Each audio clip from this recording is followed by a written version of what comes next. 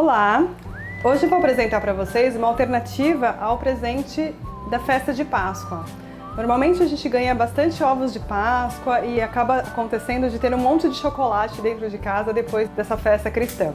A receita que eu vou dar hoje é a receita de um biscoito típico da Florença que se chama cantucci. Ele também pode ser chamado de biscotti. Biscotti porque ele é assado duas vezes. Conforme eu for fazendo a receita, vocês vão ver o motivo por quê. Meia xícara de açúcar, 60 gramas de manteiga, raspas de um limão, uma xícara e meia de farinha de trigo, sal, fermento químico, uma xícara de castanha do Brasil. Picada, gotas de baunilha,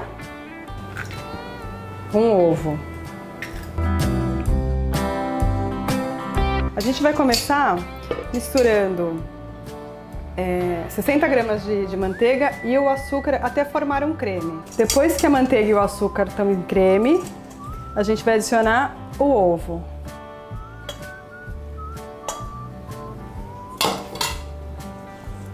Vou mexer com um pouco de cuidado.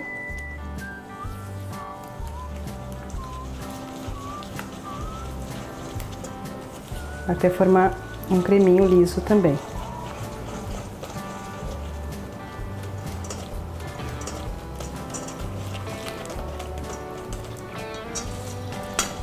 Depois disso, a gente vai adicionar a farinha de trigo.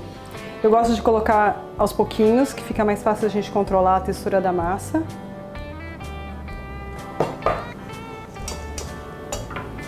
O fermento.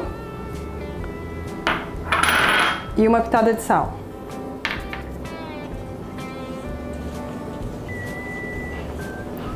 Agora, algumas gotas de baunilha.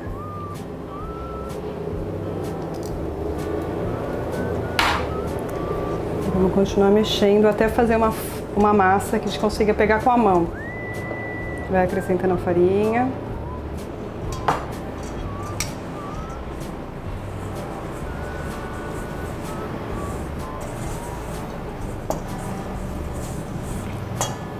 Aqui nesse momento a gente pode colocar também a raspa de limão.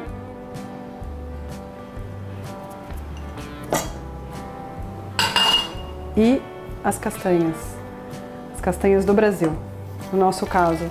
Eu escolhi usar a castanha do Brasil porque originalmente esse biscoito é preparado com amêndoa, que é uma castanha muito típica da região da Toscana.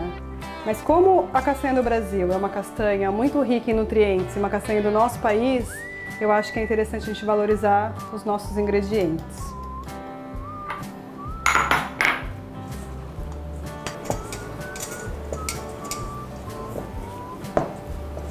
Aqui nesse momento a gente polvilha um pouquinho de farinha na superfície para trabalhar o nosso biscoito.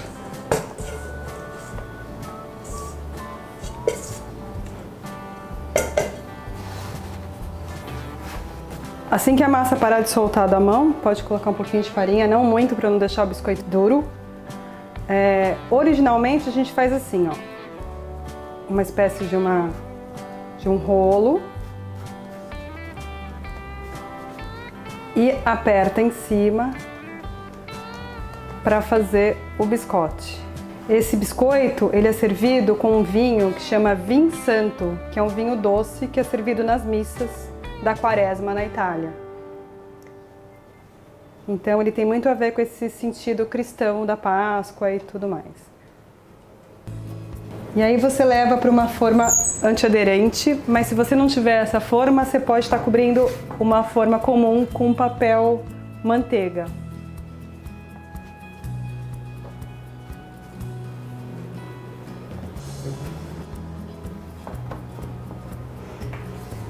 E agora nesse momento a gente precisa deixar ele um pouquinho na geladeira, uns 15 minutos, para a massa firmar e a gente poder levar para o forno.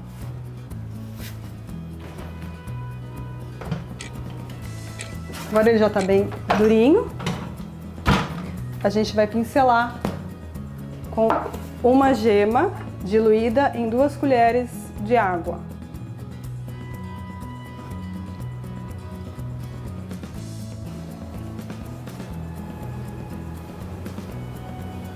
Vamos levar ao forno.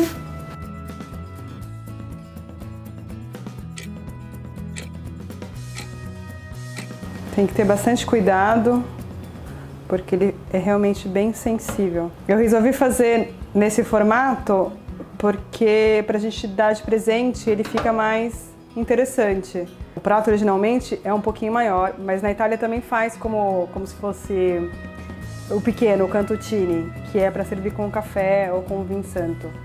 A gente vai levar o forno por mais 5 minutos, tirar do forno, virar os biscoitinhos para outro lado, para ele ficar bem douradinho. O nosso biscote está pronto.